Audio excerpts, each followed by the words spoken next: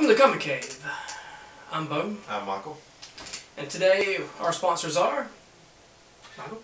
I couldn't find anybody. How you gonna find no sponsors, man? I don't know. I tried my best. Please don't be mad at me. Man, I do all this hard work to have you edit all the films, have you record all the films, have you get the interviews set up, have you do all the artwork, and you can't get any sponsors? What am I here for then? I don't know. I'm sorry. You know what? I quit this. I'm out. Later. Please don't leave me. Please.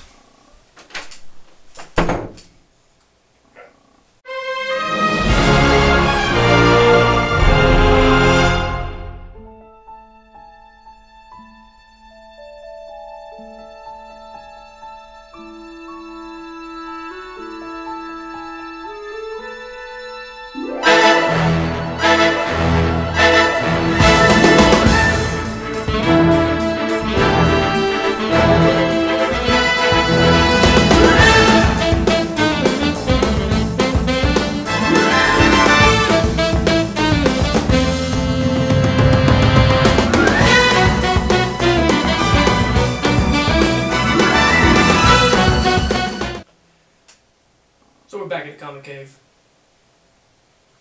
I really can't quit. I own everything. So let's just be worthless. Let's do some worthless superheroes. Yes.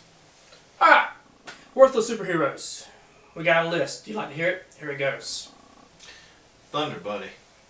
First appeared in Carlton Comics in 1982. Billy Caswell was walking through the woods, stumbled upon an abandoned aircraft carrier or spaceship. One lone survivor, and since Bobby helped him, saved him, he granted him the power for the superhero from their home planet, which was to turn into a giant rabbit. Oh, Yeah. time, time, time. Whoa. Whoa. Whoa. um. What year was this? 1982. And this is the year the comic book was made. Yes. Oh my gosh, someone was doing some cocaine. Yes. Wow. A pink rabbit too, mind you. No, I'm sorry, someone was doing acid. Yes. Wow. Really? Mm-hmm. And this was legitimately made? Yes. Carlton Comics, which was later bought out by DC.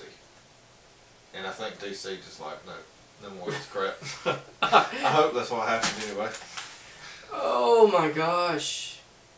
That's worse than the original story to Black Lightning. Woo!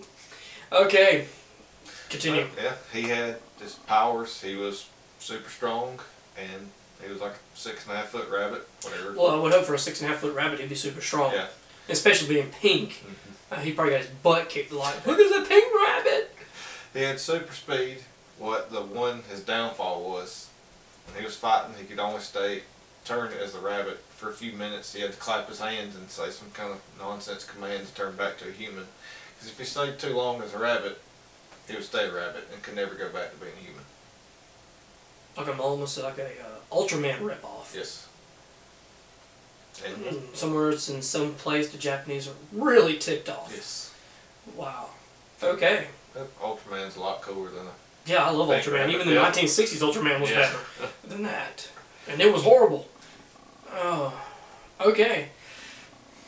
Sure, I'm, I'm glad that DC had the foresight to get rid of that crap yes.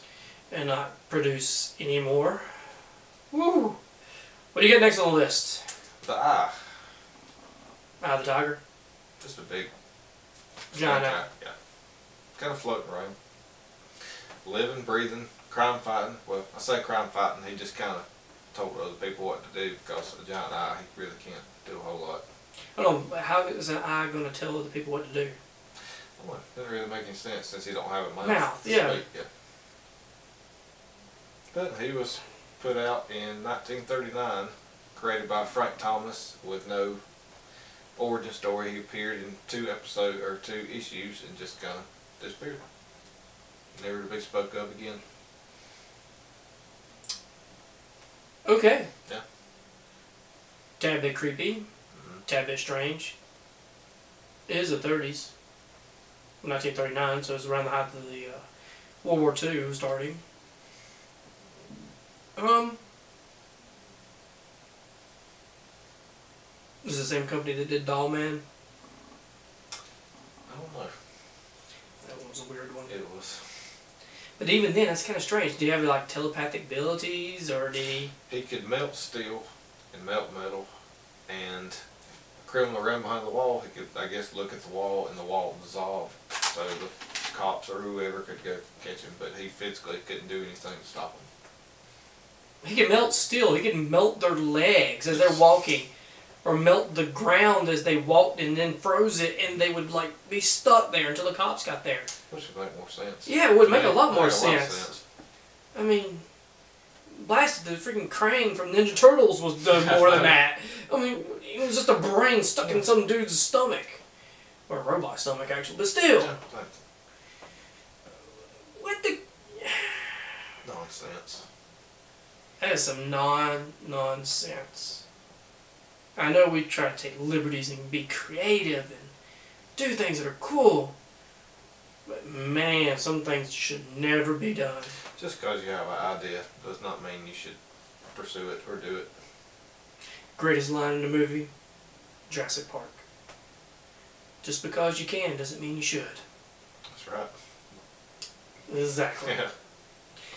Oh my gosh. Anyway, if you have any ideas or have you seen any crappy superheroes, horrible, worthless superheroes, leave in the comments below. And always, share and subscribe. Thank you. We'll see you next time.